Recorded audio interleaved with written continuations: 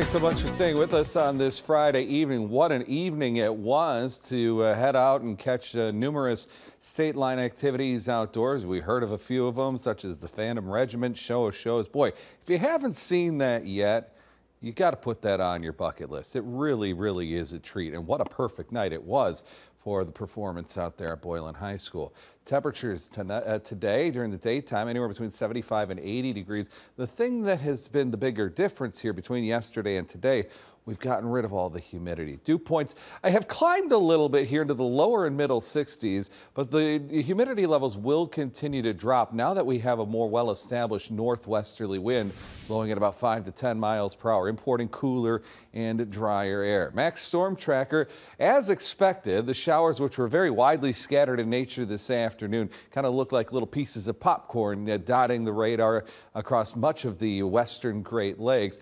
Uh, once sun goes down, we lose all the instability in the atmosphere the showers go away, the clouds go away uh, with them. Still just a tiny scattering of showers. We haven't lost uh, the most intense ones from earlier on. They're still holding together, but really no danger of any more activity reaching us. This is part of an area of low pressure that is swirling off to the north and east of us now. We just get a little spoke of energy on the back side of it. Uh, but again, the area of low pressure itself is moving far enough away that I don't think we have to worry about any more precipitation the rest of the night tonight or at least through tomorrow. Tomorrow's the day if you are wondering when to get the yard work done, maybe mow the lawn. Boy, I know my lawn is uh, growing quickly. Uh, Saturday's the day to do it because there's no way weather's going to get in our way. Sunday, Monday, there could be some minor uh, interruptions here. Not so much that I anticipate a ton of rain during the day on either of these two days. We could have rain uh, overnight the night before or early in the morning. Could leave the uh, ground a little soggy or the grass a little soggy, make it a little more difficult uh, to mow. Nonetheless, as we go into our Saturday, whatever fog that we have in the early going will burn off very, very quickly, and we've got quite a bit of sunshine expected.